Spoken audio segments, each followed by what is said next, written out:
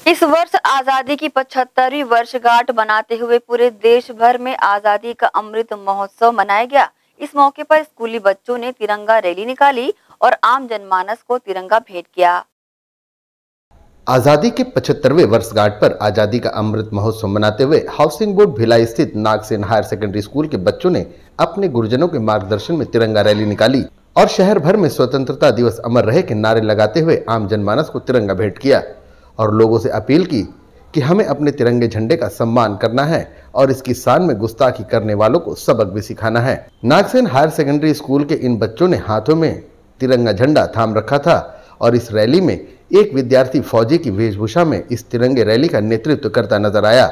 School के गुरुजनों ने भी अपने विद्यार्थियों के साथ कदम से कदम मिलाया और रैली में शरीक हुए।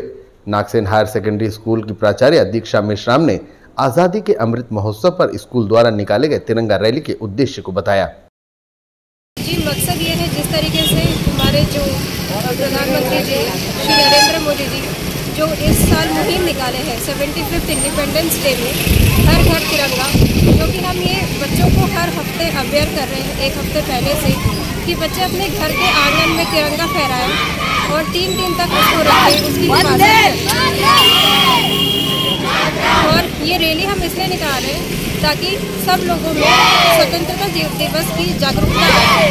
और इसके साथ साथ हम लोगों ने इस साल हमारे बच्चों के थ्रू सारे जो यहाँ पे परिजन है मतलब जो यहाँ पे कॉमन पीपल है, हमारे नागसन की तरफ़ से एक एक फ्लैग देके उनको इंडिपेंडेंस डे विश किया जा रहा है। ताकि लोगों में इंडिपेंडेंस डे के लिए जो भावुकता है और जो अपनापन है, वो हमेशा बना रहे।